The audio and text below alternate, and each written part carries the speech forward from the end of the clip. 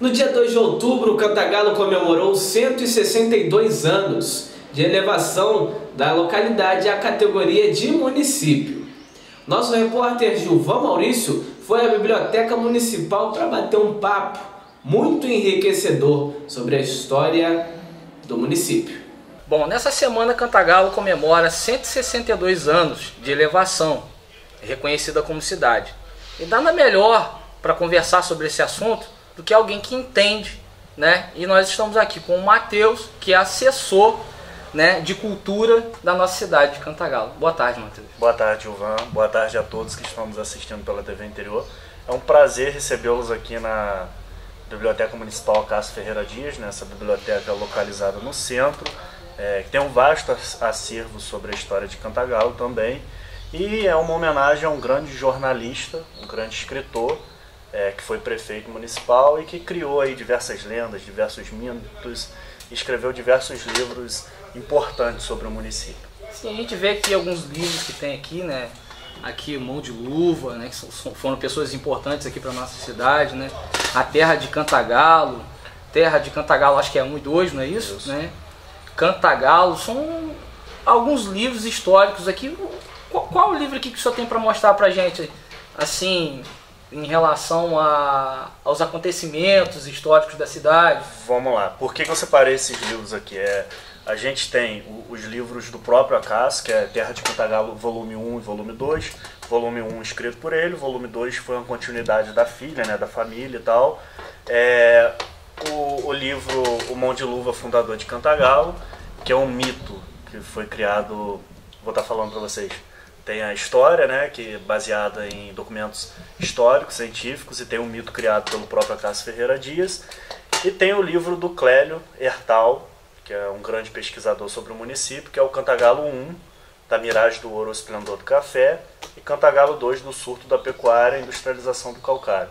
São livros que a gente tem como referência no município, são disponibilizados aqui na, na biblioteca de forma gratuita, aos pesquisadores, aos visitantes e tal. E trouxe até aqui um, uma relíquia que a gente tem, que está encadernado e tudo, que é o jornal Voto Livre, um jornal liberal é, da época do Império, é, de 1884. É um do, do, material mais antigo que a gente tem aqui.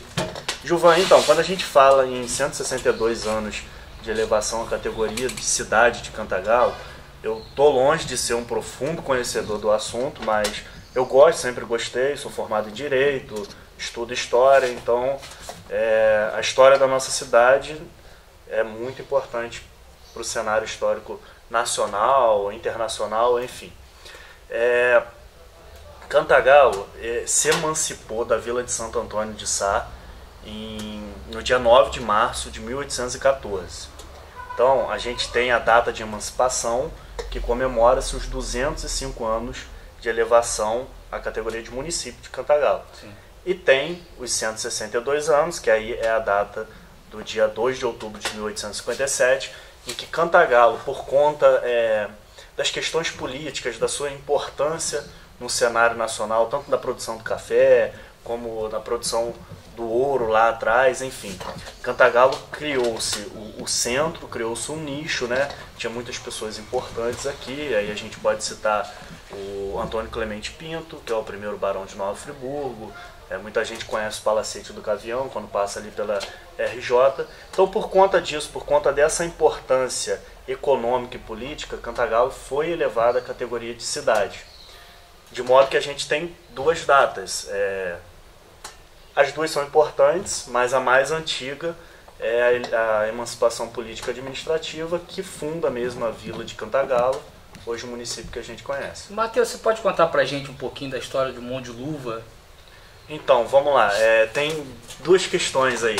Tem um mito muito conhecido da, do Mão de Luva que fala que ele era um, um nobre português e que a rainha lá beijou a mão dele, ele colocou uma luva. Esse é um mito criado pelo próprio Acácio Ferreira Dias. Por isso que ele usava essa luva.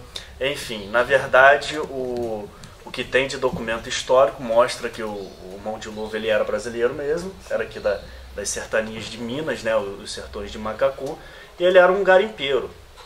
Só que na época a coroa, para poder garimpar, a coroa cobrava uma porcentagem do ouro, Sim. que era como se fosse um imposto da época, que era o quinto. Então essa história do ouro aqui em Cantagalo é verídica, é verdade. Verídico, verídico. Cantagalo era regado a ouro. A ouro, é o ouro de aluvião que fala, né? O ouro que é, ele é extraído junto com o curso da água, tem toda uma técnica. Então, voltando nesse assunto, o, o Monte Luva ele era um, um bandoleiro é, e aqui era uma, uma área proibida. Então ele veio para cá e começou a extrair o ouro sem pagar o imposto à coroa portuguesa. E como era proibido, né, foi montado todo um, um grupo para poder vir pegar ele. Eu estou resumindo a história, porque senão, senão, a gente fica muito tempo para aprender o mão de luva.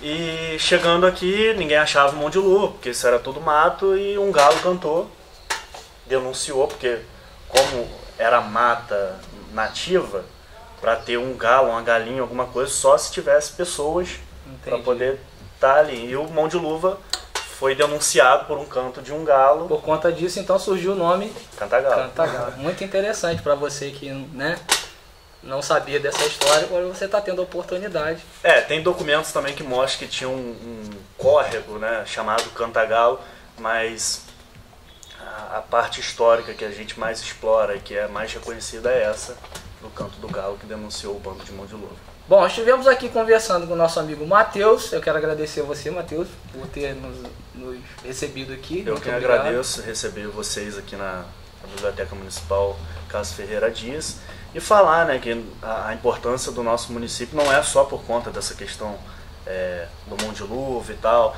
A gente é um município, o município de Cantagalo. É o mais antigo aqui da região serrana, Sim.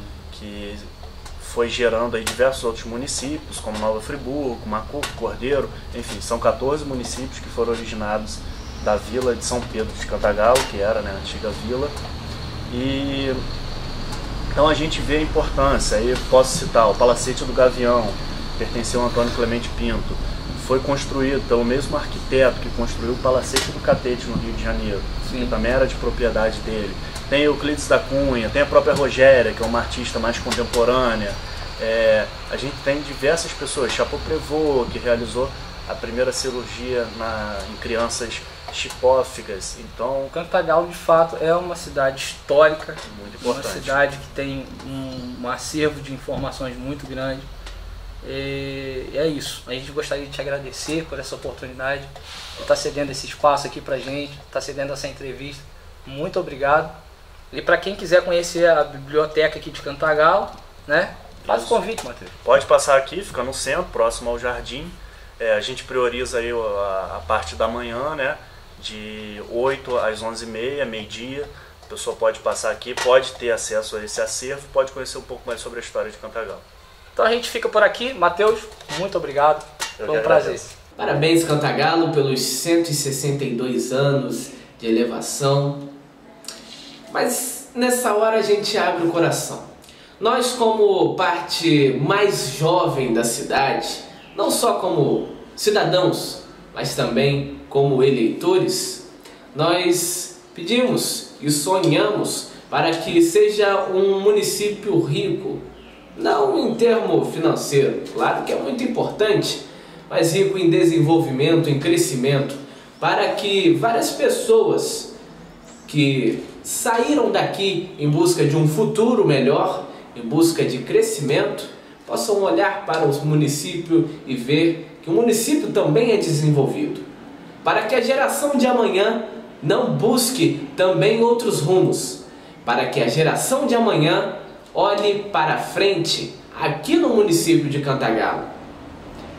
Isso é um desejo, é um sonho de, uma, de um cidadão de um eleitor e, é claro, não só daqui da nossa região, mas também do nosso país. Cantagalo vive não só uma estagnação, mas também vive por tempos de dificuldades, dificuldades não só políticas, mas também morais. Que Cantagalo possa olhar para frente, que as pessoas que, que impedem o crescimento da cidade possam olhar sempre para o desenvolvimento, para que as futuras gerações possam tocar esse município para frente e que seja mais uma vez uma potência. Nós ficamos por aqui. Outras informações e notícias você encontra nas nossas redes sociais. Lembrando que esse e outros programas você encontra no TVI Interior. Obrigado pela companhia, pela audiência. Você fica agora com o reality Quem é o Chefe. Tchau e até a próxima!